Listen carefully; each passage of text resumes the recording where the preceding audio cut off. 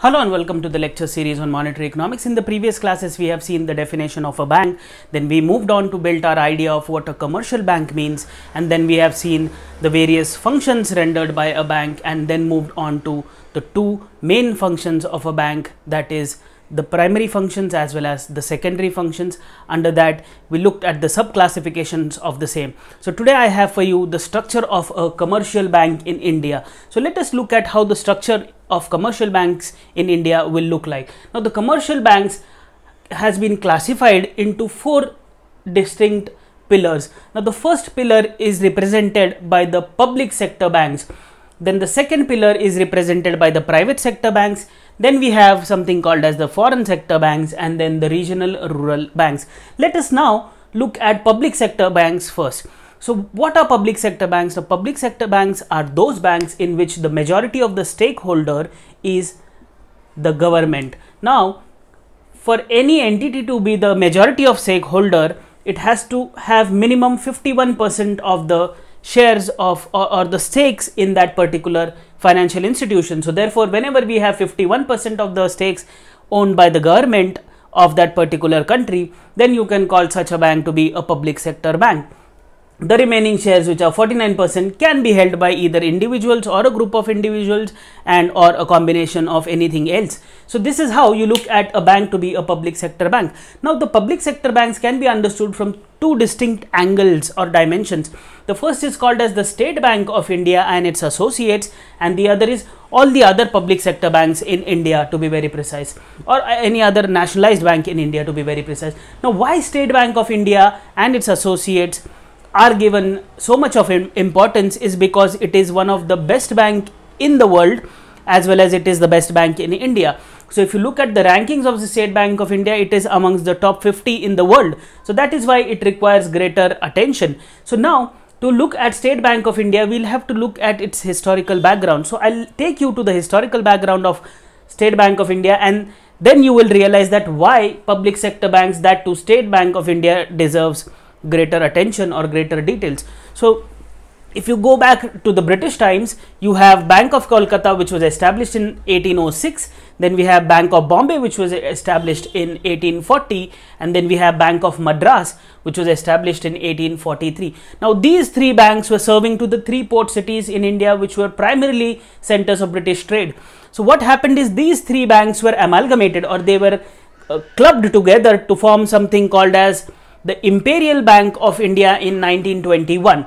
Now, this Imperial Bank of India worked till 1955 and then later it was converted into something called as the State Bank of India. So, therefore, State Bank of India was formed in 1955. So, this is the history behind the State Bank of India, which is the three, these, these banks were called as presidency banks. Presidency banks, that is the Bombay Presidency, the Kolkata presidency and the Madras presidency and these banks were amalgamated in 1921 to form Imperial Bank of India and this Imperial Bank of India was later converted into State Bank of India.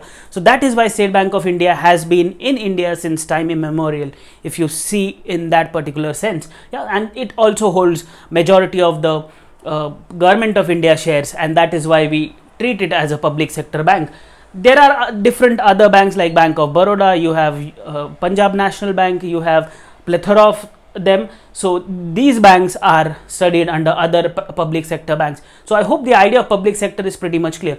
Let us now move to something called as private sector banks. Now, whenever the majority of stakes are held by an individual or group of individuals, then it is called as a private sector bank. Now, when you look at private sector banks we have Axis Bank in India. Yeah, Axis Bank is a private sector bank. There are n number of banks which are there. Then we have old and new distinction, which I'll be talking about in greater details in the upcoming lectures. I'll be also talking about the structure of uh, private sector banks and all of that. Yeah, so please stay tuned for that. But just to give you a preliminary sense, a private sector bank is the one in which an individual or group of individuals hold majority of the stakes. Let us now, I hope this idea is pretty much clear. Let us now look into what is a foreign bank. Now, foreign banks are those banks in which or whose headquarters are established in any other country.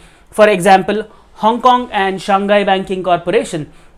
so they have their headquarters outside India and not particularly in India, but they are taking license from the Reserve Bank of India and operating as a financial institution in India. Therefore, you treat them as foreign banks. So any bank which has its headquarters not in India but out of India, you treat that bank as a foreign bank. So there are plethora of examples. The first is HSBC, which is Hong Kong and Shanghai Banking Corporation.